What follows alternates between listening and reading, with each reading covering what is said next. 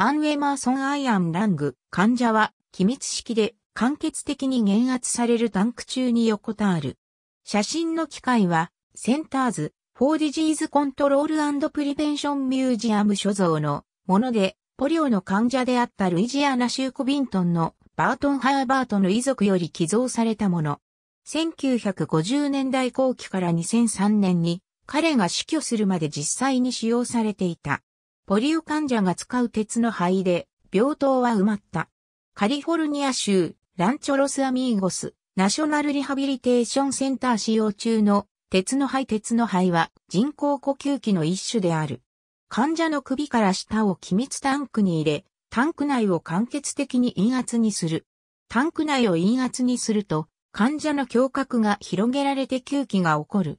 タイラーツに戻すと、胸郭の男性によって肺がしぼんで呼気が起こる。これを繰り返す。1928年、アメリカ合衆国マサチューセッツ州ボストンのハーバード大学公衆衛生スクールのフィリップ・ドリンカー、ルイス・エー・ショーらがポリオによる呼吸不全を治療するために実用化した。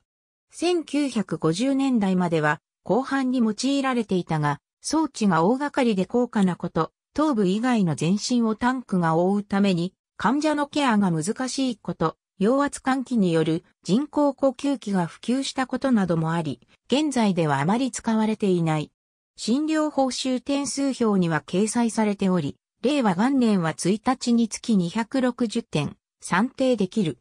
アメリカで1930年から50年代にかけて、ポリオが流行した際、鉄の灰は大変高価で当時の金額で2000ドル以上もした。この価格の半分は、フィリップ・ドリンカーとルイス・エー賞の特許料だった。当時は、T ホードが1台390ドルで買えた時代であり、特許料だけで新車2台分も取られていた。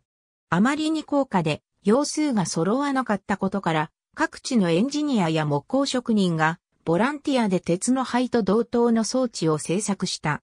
これらは、ベニヤ板などの木材が多用されていたことから、木の灰と呼ばれた。最初の1号機は1937年8月26日に、カナダのトロント小児病院にポリオに感染して入院していた4歳の子供のために、ヨゼフ・ H.W. バウアー医師が自作したものだと言われている。トロント小児病院で作られた木の肺は、セイントルカ病院の理事だったマックス・ウェル・ケネディ・レーノルズが主導して、五大湖周辺の仲間に呼びかけて1937年9月後半頃から3週間足らずで、五大湖周辺の23カ所の病院に海賊版製品が配られた。